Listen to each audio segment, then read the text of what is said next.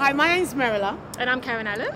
And we are from The Countdown. Now, we are just about to go into this gym to see someone very, very, very important Very and important. special. Absolutely. Are you excited? I'm very excited. I'm excited because he has taken the time out. He has said yes to us to spend a few minutes just talking to him about why he got behind the countdown, Absolutely. what he thought about the countdown when he saw it originally, mm-hmm. and the fact that he has done this for us is extremely excited. I'm trying to hold it down, trying to not be like one of them girls. no, I don't think Yeah, one of those we're not going to be one of those girls, but we're excited. For those of you who don't know, I'm Karen Allen, as I said, and I wrote the Countdown play. This is Mel, and she is the executive director. I take directions from her, and today we are going to be interviewing. Do you want to tell them who it is?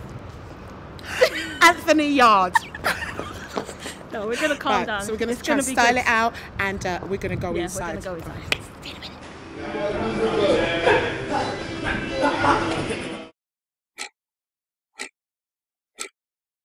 It's really great to see you in your element and uh, catch you in person. So tell me, how was it? Well, me just being honest, literally, how- whilst I was watching uh, I could feel like a part of it reminding me of like how I grew up, where I grew up. I grew up in Forest Gate and Stratford, so um, they're very close to each other, and I saw like a lot of things that, that was similar that played. So literally, I connected to it straight away, and it wasn't. I've watched plays before where it's, it's so like unrealistic, but the countdown was like I could really relate to it in terms of like young girls getting with the wrong guys because of the situations they got at home, just looking for comfort in the wrong people, and um, being that literally settling for being treated like garbage because of a guy that's got um, a reputation. You know, a lot of young girls when they're young and they see a guy money, they know what he's doing, but they don't really look at this. Same as the boys. Um, you're in a certain area, you affiliate yourself with other people in the wrong way, you're not really like that. And you get put into into a certain lifestyle. So um, I grew up around that. I was in I was literally in the same kind of situation where I had to make conscious decisions for myself. What I'm going to do with my life. Um, luckily, I always thank God as well. I've got a, a mind of my own. I was never a follower. So when I saw certain situations and see how 95% of them were panning out, um, I took my football so I was playing football. And then football wasn't down there, so I got back onto doing bad things. And now, I'm just on my element. And we are so proud of you. You really, really are. It's amazing. Now, what would you say to uh, a young man who was uh, tempted, maybe into drugs, or tempted for some reason to pick up a knife? What would you say, knowing that you came from that sort of background, what would you say to him? I would say don't be weak. I would say don't be weak. Um, literally, that lifestyle is a, it's a trick. Um, I always say to people, the way was like a trade, we bring it on ourselves because we're easily led into into a lifestyle which is fake. You know, you see um, rappers. Sometimes you see, you see rappers on TV so, with um, chains and things like that. Sometimes they don't, so they don't make that much money. I'm in a I'm in a situation right now well where I get offered things, so I could look like I'm a millionaire already. You know, give me Rolex, diamond watches, but I say no to because I feel like if I want to get something, I work for it.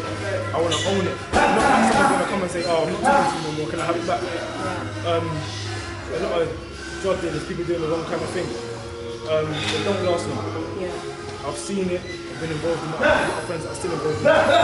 And they're depressed, but they're depressed. They're not, they're not happy. They're always worrying about what's behind their back. And things get real, they get real when the family gets involved. Yeah. People don't always see the big picture. So I always tell young kids, I say, listen, once something happens, you can't go back from it. So if you go to area and you hurt the wrong person, Yeah. they're going to tell you. It's an ongoing cycle. I know big men. Our training team. So he's still got friends who knows both ends. They're big men, 40 year olds, say if they see they're still going to kill each other. And they've got kids going to each. So I always tell young kids, work. Having ten thousand pounds when you're 16 years old ain't gonna last you long, especially in this day and age. But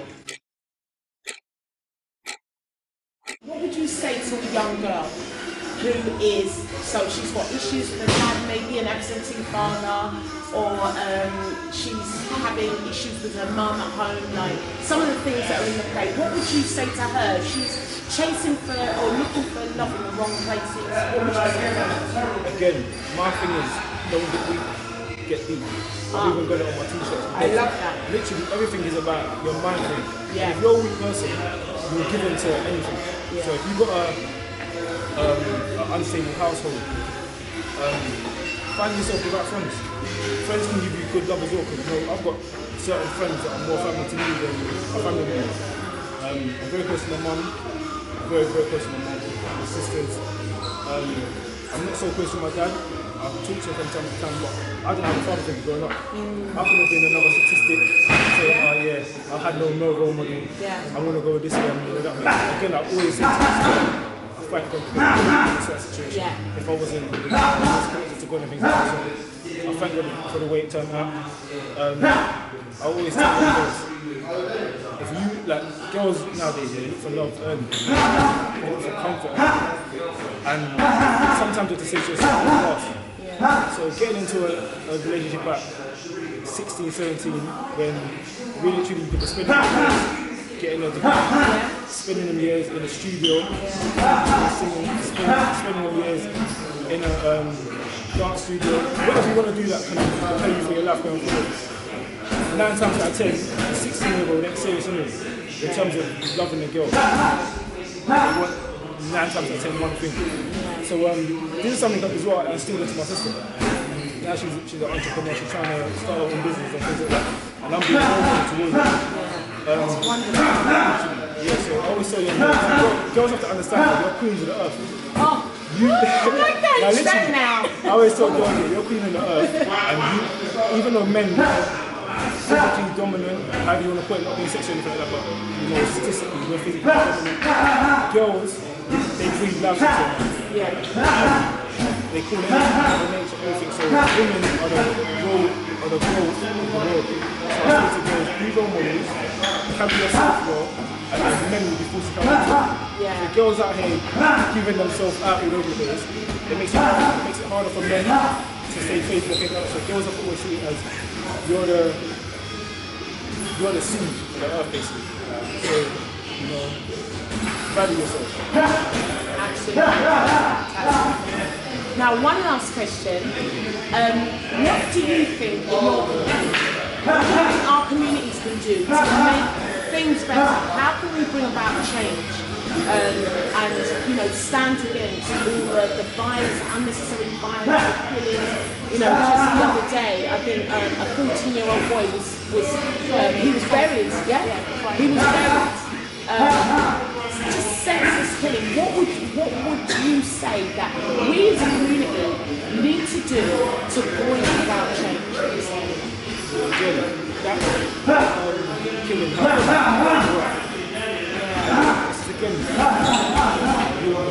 and now someone else is probably going to retaliate. Yeah. Or someone, someone going to be so hurt by it that they don't care about that. And that's what we need to actually think about what we're doing. A lot of people see them in music videos and they're like, they're going to do this and that. They're not thinking about the actions or how are they feeling what they're. So I feel like the only way we're going to make a change is you guys keep doing what you're doing. Um, you guys have to get a lot of credit because you're sacrificing something you can't get back in this time. Um, you're sacrificing money, effort, everything. So again, keep doing what you're doing. Um, and literally, people just need to wake up. Literally, stop falling into um, media. Yeah. What you see on media, um, it's literally it's all the trick. Yeah. That's what I'll say. It's all the trick. If you look at poverty, literally, poverty always brings desperation. So we live in a in a country where there's mixed. You've got your your high level or not high level, but your prestige kind of way of living, and you've got your very low poverty way of living. And in the middle, there's a battle.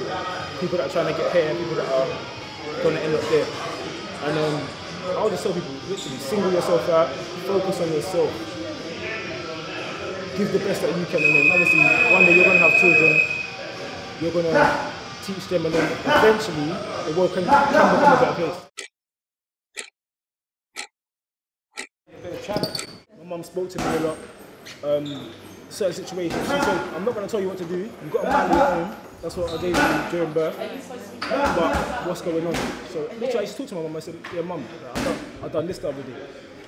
And she'd be like, and, you know, I'm not going to tell you to do, but you will learn. You know, um, parents always say that you, you will learn. You either learn the easy way or the hard way.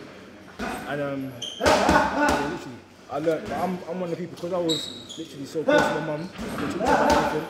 Same with my sister. My mum, my sister would talk to my mum before she talked to me. But whilst I was growing up, yeah, that's what it was. Mm. Remember these words: be the change. It starts with you, and make your life count.